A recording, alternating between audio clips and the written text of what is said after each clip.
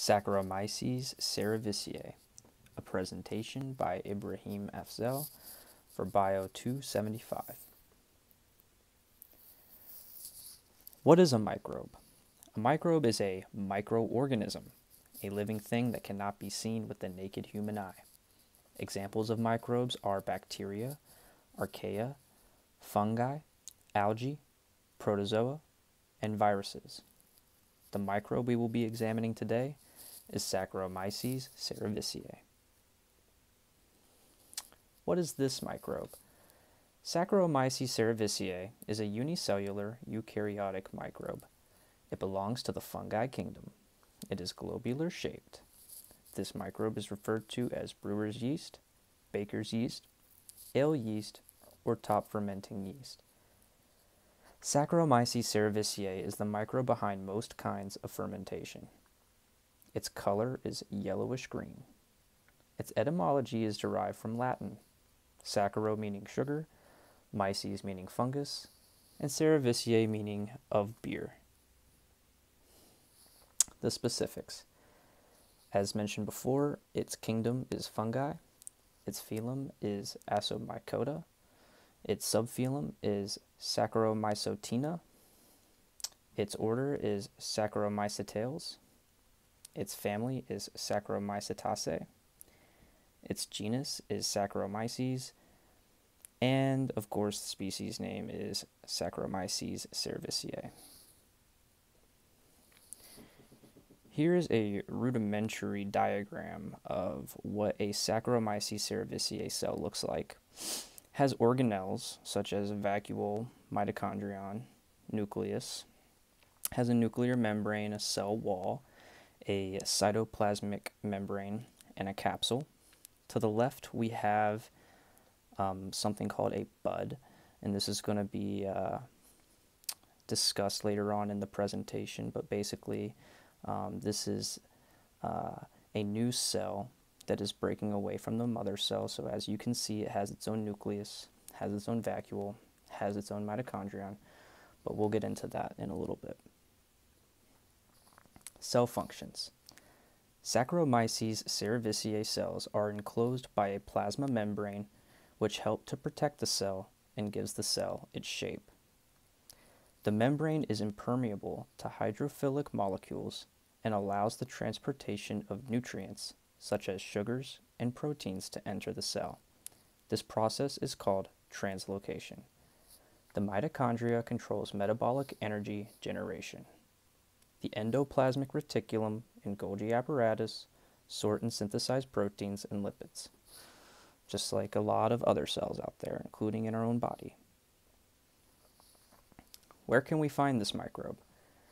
Saccharomyces cerevisiae is found on the surfaces of plants, gastrointestinal tracts and body surfaces of insects and warm-blooded organisms, soils from all regions of the world and some aqua aquatic environments. It's also found on alcoholic beverage storage cellars and equipment. Here's a picture of an apple that I picked from my neighbor's apple tree. As you can see, it has a giant mold spot on there. So that apple has um, Saccharomyces cerevisiae growing on it. What does this microbe need to survive? Saccharomyces cerevisiae can survive with or without oxygen and is therefore called a facultative anaerobe. With oxygen, the microbe undergoes aerobic respiration and converts sugars into CO2 and H2O. Without oxygen, the microbe undergoes fermentation, which is an anaerobic process where sugars are converted into carbon dioxide and ethanol.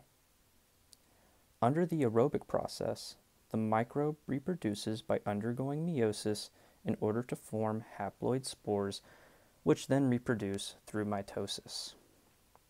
Under the anaerobic process, the microbe reproduces in a process called budding, like mentioned before. These buds reproduce by mitosis as diploid cells when there are abundant nutrients. More on reproduction, part 1. Saccharomyces cerevisiae is capable of both sexual and asexual reproduction. Budding occurs under asexual reproduction. A mother cell produces an ellipsoidal daughter cell through the mitotic cell cycle. Under this uh, form of reproduction, uh, Saccharomyces cerevisiae can double in number every 100 minutes. More on reproduction, part 2. When Saccharomyces cerevisiae is under stressful environmental conditions, such as a lack of nutrients, cells undergo sexual reproduction. Opposite mating types are attracted by a peptide pheromone which helps to prepare and facilitate the cells for mating. When the cells join, they undergo sporulation. In sporulation, each cell creates multiple haploid spores which are then released to form a diploid cell. Cells produced this way are still capable of producing daughter buds, but sporulation becomes the main method of reproduction in these sexually produced cells. Here we see uh, green S uh, Saccharomyces cerevisiae cells producing yellow spores as well as buds.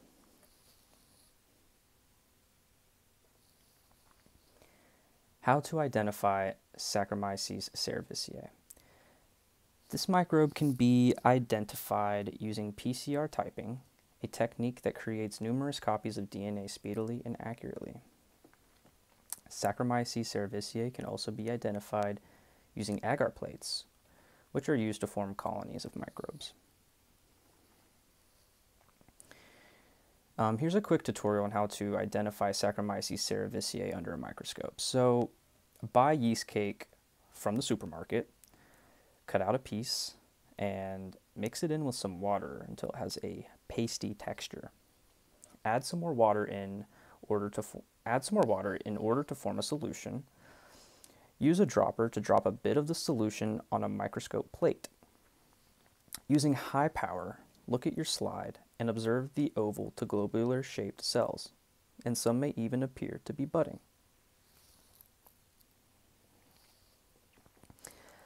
How to isolate Saccharomyces cerevisiae, part 1. Isolating Saccharomyces cerevisiae is very easy as long as you have an agar plate, Saccharomyces cerevisiae culture, a burner, and a loop. Simply use the loop, sterilized by the burner, to apply the culture Saccharomyces cerevisiae to the agar plate. Lightly apply the loop to the surface of the agar without scratching deeply into it streaking to and fro, up and down, all across the plate. Part 2. After a couple of days, a creamy white colony of Saccharomyces cerevisiae will appear. To isolate a pure strain, grab another agar plate and with your sterilized loop, grab a nice round colony from your first plate and transfer it to your second plate. Streak the second plate as you did the first plate. Repeat this process with even more agar plates until you have colonies that all look the same. Part 3. Out of your colonies that all look the same, pick one colony from one of them using a sterile loop and dunk it into a vial with 10 milliliters of boiled or sterilized low gravity wort. Tighten the cap and shake it hard. Congratulations, you have successfully isolated your very own pure strain of Saccharomyces cerevisiae. Uses this microbe has for humans. The most popular uses of Saccharomyces cerevisiae uh, that that humans use it for is uh, in bread making and the production of alcoholic beverages. Um, to the left, we have a picture of a French baguette, my favorite type of bread. And then we have in the middle some wine. And then to the right, we have my favorite beer in the whole wide world, Blue Moon. More on alcoholic beverages and Saccharomyces cerevisiae. Humans have been using Saccharomyces cerevisiae for over 10,000 years to produce alcoholic beverages. The domestication of this microbe is older than written language itself. It is believed that Saccharomyces cerevisiae was first cultivated from the skins of grapes. In any case, we have our ancestors to thank for exploiting Saccharomyces cerevisiae a precious microbe to the human experience.